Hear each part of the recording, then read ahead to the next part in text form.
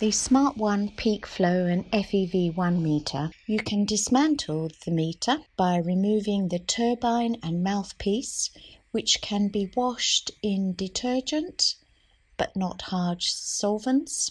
These can be washed and left to dry for their use later. This cleaning method is gentle and you should not put the turbine under a running tap because this may well damage the components.